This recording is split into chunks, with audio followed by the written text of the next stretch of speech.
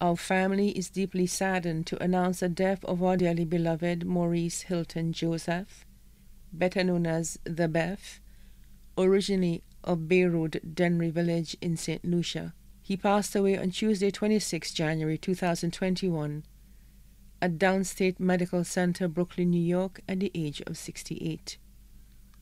The funeral ceremony of the late Maurice Hilton Joseph, better known as The Beth, will be held on Saturday, 6 January 2021 at Carib Funeral Home, Brooklyn, New York. The viewing of the body starts at 2 p.m. to 4 p.m. and the service commences at 4 p.m. to 6 p.m. The body of the late Maurice Hilton Joseph, better known as the Beth, will be cremated.